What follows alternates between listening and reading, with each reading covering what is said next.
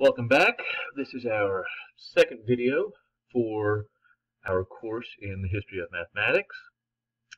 We are continuing our discussion of Egyptian mathematics and moving on to the process described in the Ahmes Papyrus for division.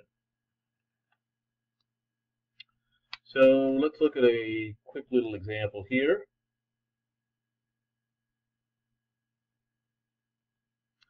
Uh, we are going to take uh, 61 and divide that by 8.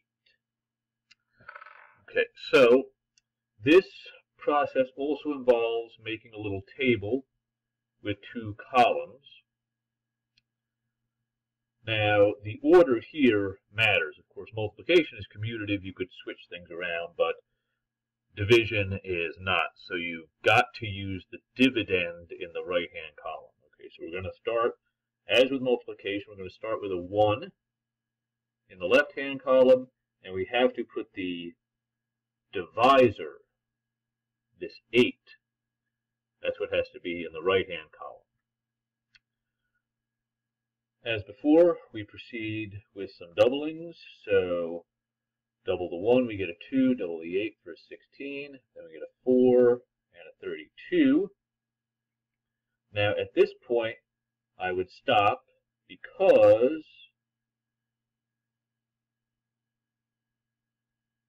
these entries in the right-hand column would exceed my dividend of 61.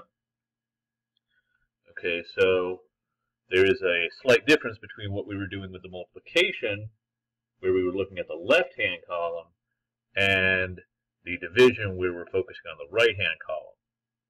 So with the division process, we stop when the right-hand column would exceed whatever this number is, in this case 61. And now what we're going to do is we are going to look for entries in the right-hand column.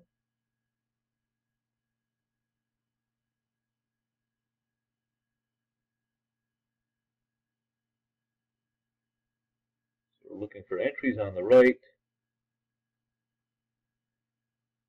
that get as close as possible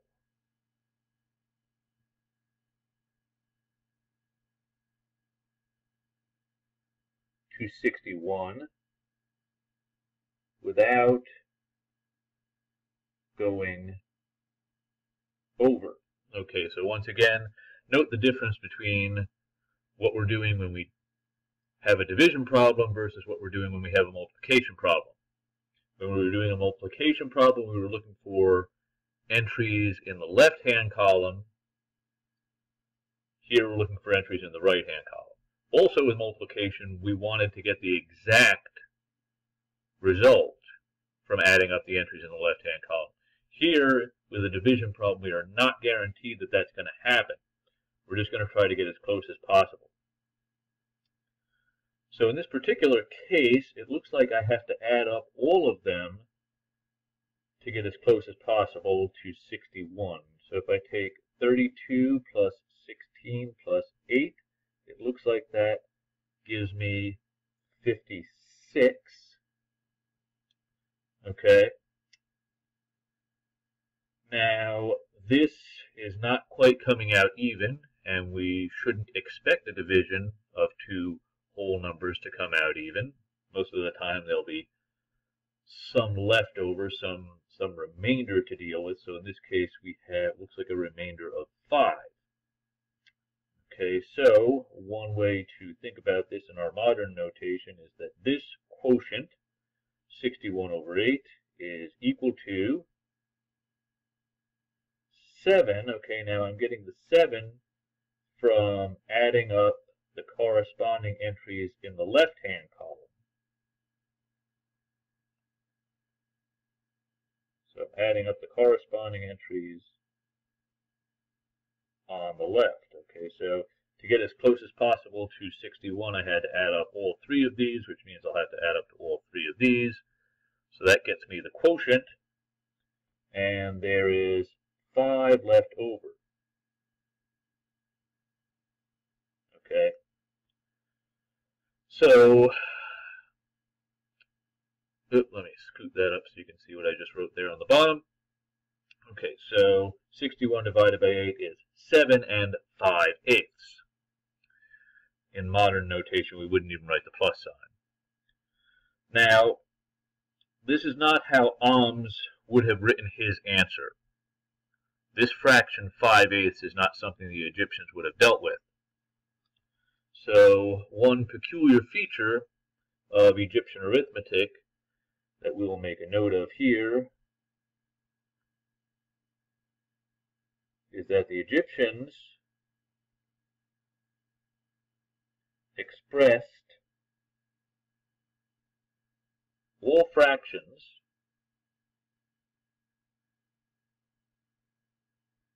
as sums of unit fractions. So in other words, they didn't want to have anything other than a 1 in the numerator of their fraction. So with the Egyptian system, this 5 isn't allowed. Okay, now in this particular case, getting the answer is not too hard. We can break up the 7. Well, we leave the 7, of course, we don't break that up. We can break up the 5 eighths. 5 eighths, of course, is bigger than a half, so it's going to be a half plus something. Okay, now, of course, a half, we could treat that as 4 eighths. So to get to 5 eighths, we just need an additional 1 eighth.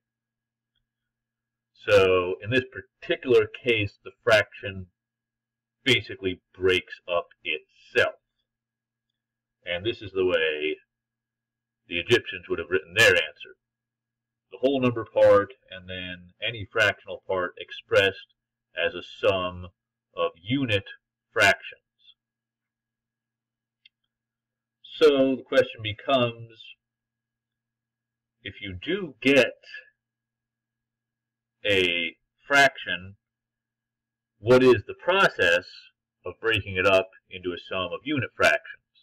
Now, in the Ahmes Papyrus, the author doesn't actually discuss any general method for breaking these up.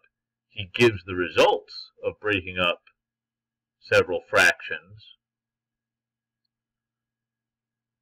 when the denominator is odd and the numerator is 2. But he doesn't actually explicitly tell us what his process is. Now, we're going to go over something that can be helpful here. It's called the splitting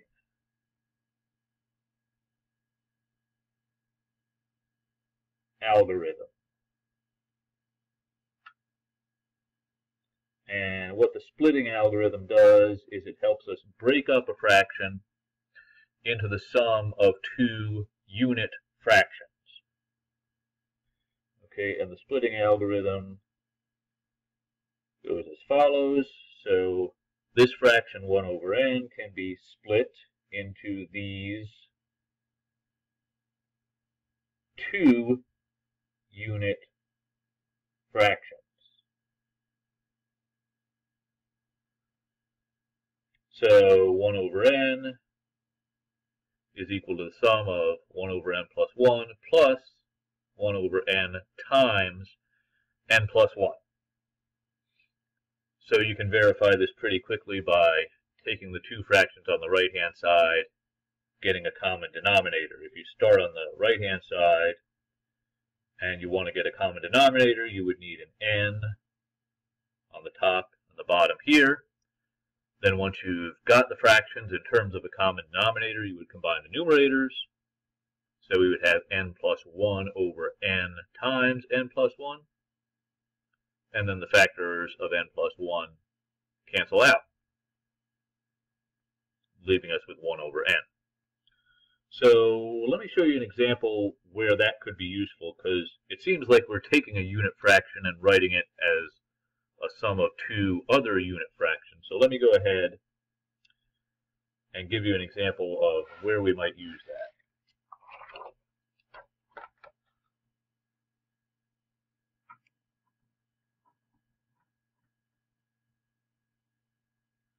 So let's do this example. We're going to take, oh gosh, we're going to take 342 and we're going to divide that by 17. Okay, so we'll follow the same exact procedure that we did before. Start with a 1 here, and in the right-hand column we've got to have our divisor. Keep on doubling, so Next row would be a 2 and a 34. 4, 68, 8, 136, 16, and 272. Okay. Now, I think I can stop here because my right-hand column would be greater than 342 if I were to do another doubling.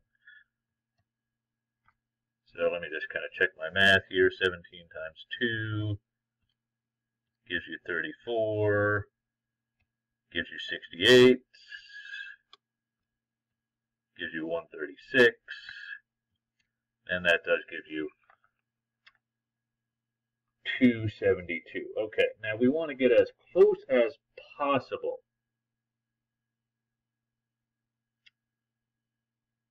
to 342 without going over. So we're looking for entries in the right-hand column that will have a total that is closest to 342 without going over. And I think what we need to do is take this entry and this entry.